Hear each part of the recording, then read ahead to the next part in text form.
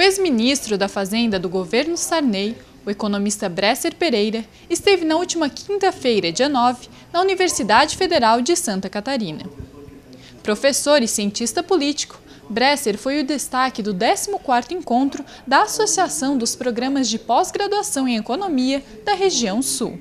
Antes do início da palestra, o ex-ministro deu uma entrevista à TV UFSC, abordando a atual situação econômica brasileira.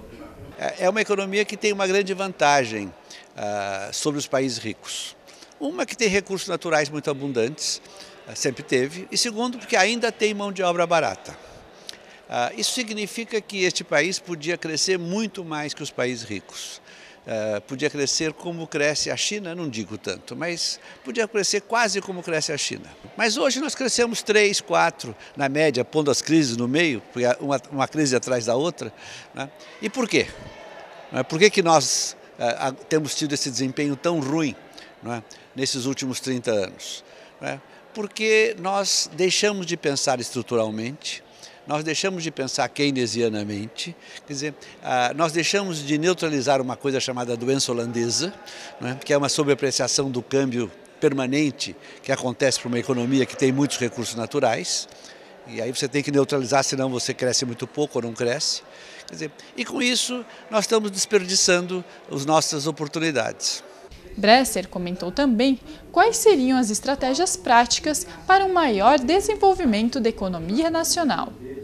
A coisa fundamental eh, é que o Brasil consiga uma verdadeira estabilidade macroeconômica.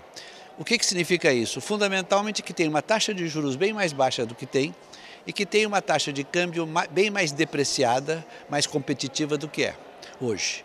Quer dizer, a nossa taxa de câmbio continua ser, a nossa taxa de juros continua sendo a maior do mundo, quer dizer, isso aprecia um câmbio que continua muito apreciado e inviabiliza então que empresários competentes, capazes, que têm tecnologia no estado da arte mundial, sejam competitivos. Aqui em Santa Catarina, tem muito empresário que uh, tem, é ótimo do ponto de vista tecnológico e administrativo e não consegue competir internacionalmente porque o câmbio não permite. O professor falou ainda sobre inflação, comparando os atuais índices com aqueles enfrentados durante o plano Bresser. Nos anos uh, 90, uh, eu, 80 e 90, eu colocava a inflação no centro das minhas preocupações, porque a inflação naquela época era muito alta. Era, não era 5% ao ano, 6% ao ano. Era 5%, 10%, 20% ao mês. Né? Aí sim era um problema sério. Quer dizer, hoje eu não creio que a inflação seja um problema muito sério. Quer dizer, o problema sério do Brasil é a taxa de juros e a taxa de câmbio.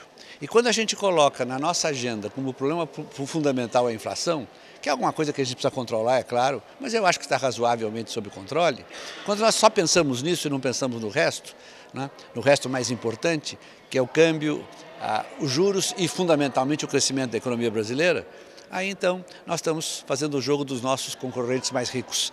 Né? Ficam felicíssimos com isso e nós ficamos aqui andando devagarzinho.